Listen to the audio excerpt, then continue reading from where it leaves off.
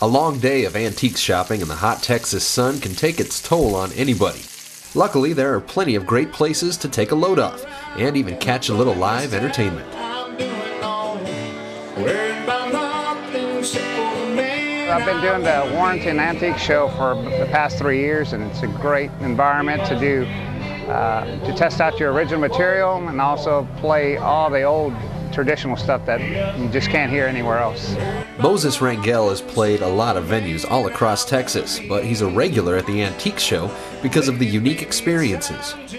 Doing the big shows is fine and it's great when you get to feel the big crowd, but the, the biggest thing here, it's all you.